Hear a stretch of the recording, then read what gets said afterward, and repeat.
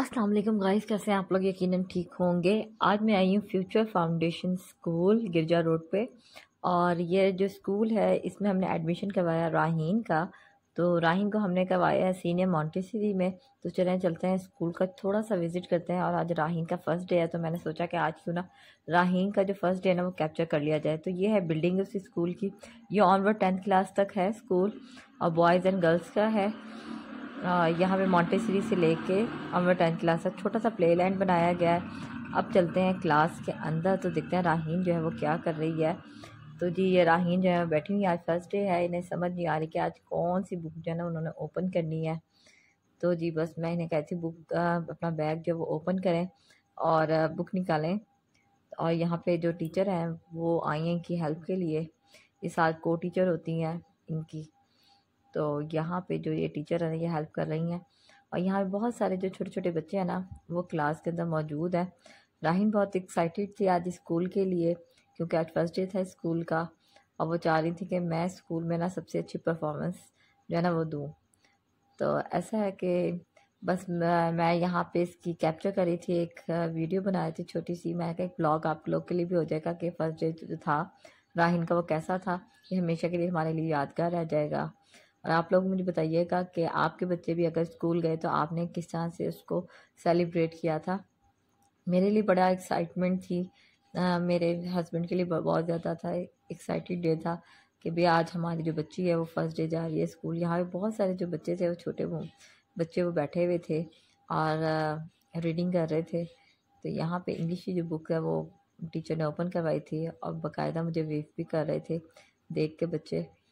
और राहीन भी जो थी वो भी बहुत खुश हो रही थी कि आज जो स्कूल है ना वो बहुत ही अच्छा लग रहा था उन्हें।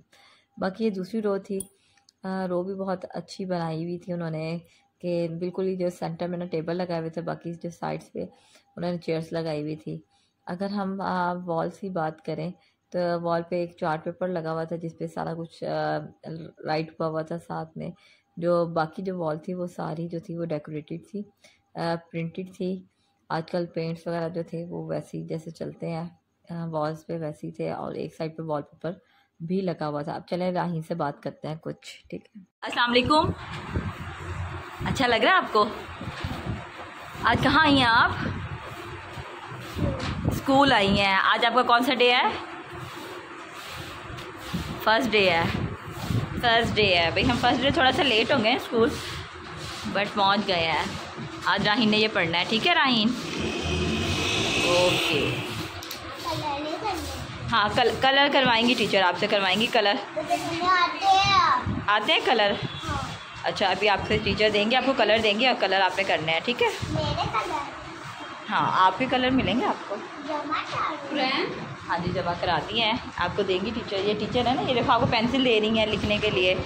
आपने पेंसिल भी लेनी है। ये देखो वाह ये देखें, ये टीचर डिस्ट्रीब्यूट कर रही हैं पेंसिल्स और हर बच्चे को मिल रही है पेंसिल अब राहीन को भी मिलेगी, राहीन। वाह you have a yellow pencil Raheen इधर देखें। अब मैं जा रही हूँ। ठीक है? जाओ। चलो ठीक है जी अल्लाह हाफिज़। हाँ ये अभी अभी टीचर आपको खुद लिखवाएँगी।